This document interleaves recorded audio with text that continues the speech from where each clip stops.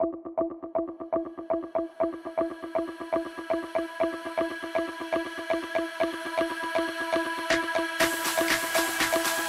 meus amores, voltei com mais um vídeo pra vocês e hoje eu tô aqui pra mais um tutorial de maquiagem artística. Fala sério, canal tá recheado de maquiagem artística nesse ano, né? Isso é só o começo. A maquiagem de hoje foi inspiração numa gringa que eu vou deixar o nome dela passando na tela. A maquiagem ficou exatamente igual a dela, mas o conceito eu quis fazer diferente. Eu quis fazer uma coisa mais trash, mais terror. Então eu complementei com acessório, lente de contato, enfim. Eu espero muito que vocês gostem. Já começa aqui o vídeo deixando seu like, seu comentário mim, que é muito importante. O engajamento de vocês é o que faz o canal crescer e é o que faz a gente derrubar esse bug do YouTube. Então comenta aqui embaixo, hashtag bug YouTube nunca mais. Pois é, então bora pro tutorial que eu sei que vocês estão curiosos pra saber como é que eu fiz essa cabeça cortada ao meio. Bom, amores, eu já estou com a pele preparada, tá? Então eu vou fazer só um olhinho aqui junto com vocês, algo bem básico, porque eu quero que essa maquiagem tenha esse ar mais glamuroso nos olhos, tá? Então eu vou pegar essa paletinha aqui da Ruby Rose, ó, mas pode ser a paleta que você tiver em casa tranquilamente e vou só fazer um olhinho aqui esfumado, preencher a sobrancelha, aplicar cílios postiços, tudo que a gente já faz naturalmente, tá? Então eu vou acelerar essa parte do vídeo, porque não é a intenção da maquiagem. Bom, maquiagem dos olhos feita, esse é o resultado. Se você não quiser fazer, não precisa, tá? Fica de acordo com o que você quer no resultado final da sua maquiagem artística.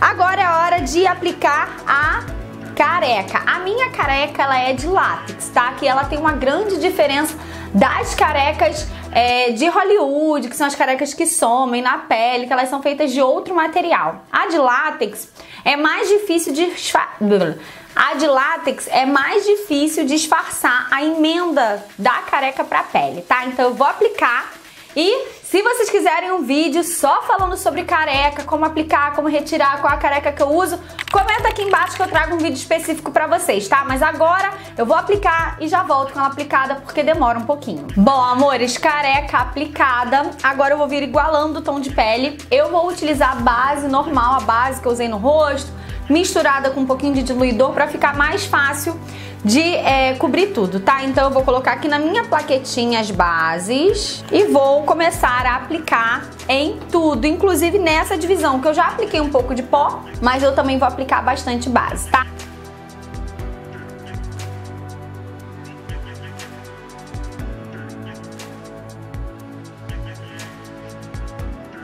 Bom, careca totalmente igualada com tom de pele. Vocês podem ver que ainda dá assim pra ver né, a diferença da careca pra pele, mas não tem problema. Nessa maquiagem eu não vou me importar tanto com isso, porque a gente vai aplicar sangue ainda e o sangue dá uma disfarçada em tudo, fica muito mais natural. Bom, agora nós vamos fazer a divisão, né, da cabeça que vai estar tá mais alta, enfim. Para isso eu vou utilizar a cola Spirit Gun da Criolan, para poder colar a, a massa para ela durar mais tempo. Mas antes de fazer essa colagem, eu vou vir com um lápis branco, vou marcar aqui mais ou menos o meio, ele não precisa ficar 100% simétrico, tá, gente?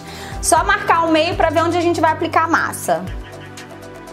Bom, dei uma marcada aqui de leve e agora eu vou começar a aplicar a minha massa Slug, ela que vai fazer a diferença. Na verdade, eu vou aplicar Spirit Gun primeiro. Vai entrar massa em todo o meio, tá? Então eu começo aplicando aqui, ó na linha que nós fizemos.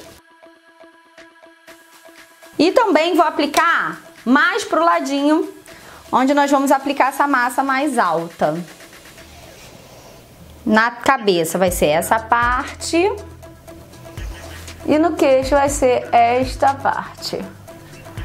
Então ele vai dar uma sustentabilidade para nossa massinha. Bom, então com uma espátula é um processo, gente, de paciência, tá? Porque é, é realmente a construção é, de uma nova cabeça com massa. Então tem que ir olhando no espelho, ver onde falta mais massa, enfim. Eu vou começar aplicando aqui na cabeça e depois eu vou vir para o meio. E nessa maquiagem especificamente, nós vamos utilizar muita massa, tá? Então, o ideal é que você tenha a massa slug a maior. Vende lá na minha loja, tá, gente? O link da loja tá aqui no box de informações. Que a gente vai fazer essa cabeça nessa região aqui mais alta. Então, tem que entrar bastante massa aqui. Ó, vocês conseguem ver que a gente já começa a conseguir um volume maior desse lado? Com a própria espátula molhando ela na água, eu já vou dando uma moldada aqui, ó, pra entender melhor esse desenho e entender como que ele tá funcionando, onde tá faltando massa, enfim. Tá vendo? Ele tem que ter continuidade, senão a gente começa a criar uma cabeça meio torta. Então eu vou moldar aqui rapidinho com os dedos e vou ó, alisar, começar a alisar nivelando ele pra minha cabeça. E o meio eu vou afastando aqui, ó, pra fazer como se realmente tivesse cortado e tivesse essa parte da cabeça maior. Bom, aí eu moldei já essa parte, pra mim já é o suficiente, depois talvez eu acrescente um pouquinho mais de massa. Agora eu vou vir fazendo um pouquinho de massa naquela linha que nós construímos, só que aqui é muito farelo, é só pra dar continuidade, tá? Aí eu vou moldar esse farelinho de massa que nós aplicamos e vou com a espátula molhada criar aqui, ó, uma linha, uma linha de visão. Ó. Só para dar continuidade. E no queixo do lado de cá, eu também vou fazer uma proeminência para dar ainda mais a impressão de que a nossa cabeça foi cortada aí ao meio.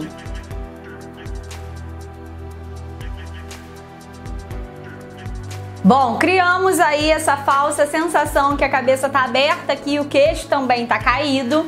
Agora nós vamos impermeabilizar tudo com látex. É muito importante você impermeabilizar com látex para sua massinha não ressecar e não cair. Principalmente porque ela tá bem mais alta e aqui também bem mais baixa, então ela não tem muita sustentação, tá? Então vou impermeabilizar com látex tudo, umas duas a três camadas, porque essa é uma maquiagem que tem muita massa e aí vou secar com secador, dá pra acelerar esse processo de secagem com o secador, tá? E vou voltar pra gente continuar a área da pintura. Bom, seguinte, tudo devidamente impermeabilizado. Agora nós vamos novamente igualar o tom de pele. Para isso eu vou utilizar mais base e vou aplicando aqui onde nós aplicamos o látex, tá? Então vamos tirar esse branquinho aí do látex e vamos começar a igualar novamente toda essa careca.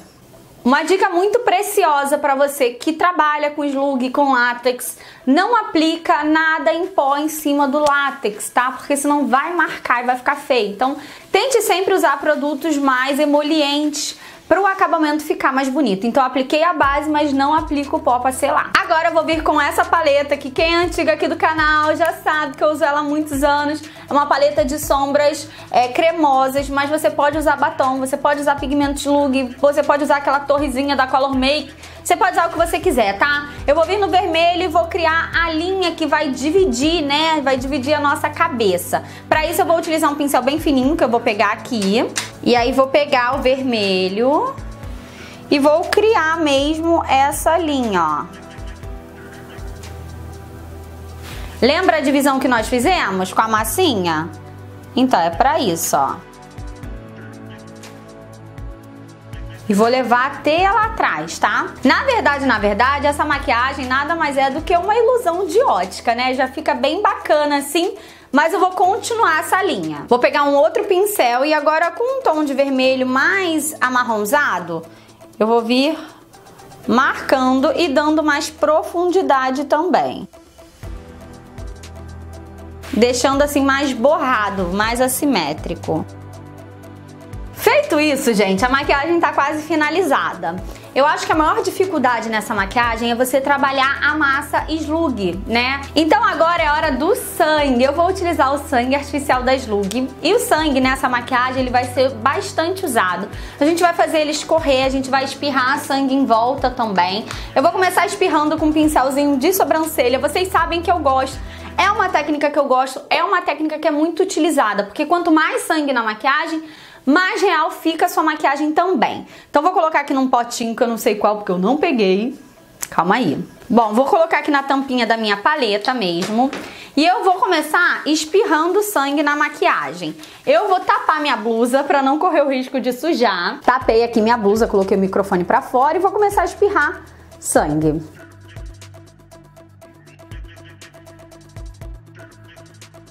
Depois que eu espirrei bastante sangue, eu vou vir com aquele pincelzinho fininho, vou aplicar sangue aqui na divisão.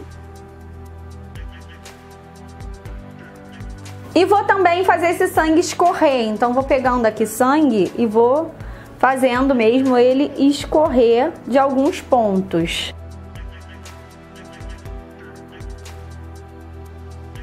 Bom, feito isso, eu vou finalizar com lente de contato, meus acessórios e volto com o resultado final para vocês.